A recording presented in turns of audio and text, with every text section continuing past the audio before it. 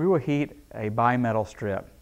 A bimetal strip consists of two strips of different metals bonded to each other. As you heat the bimetal strip, the two different metals expand at different rates. This causes the metal strip to curl.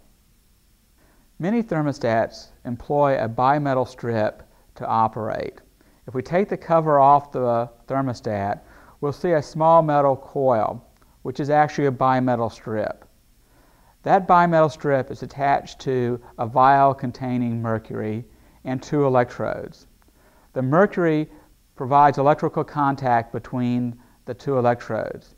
As the temperature in the room changes, the coil of the bimetal strip either coils or uncoils. As it does so, it tilts the vial and the mercury makes contact or breaks contact with the electrodes.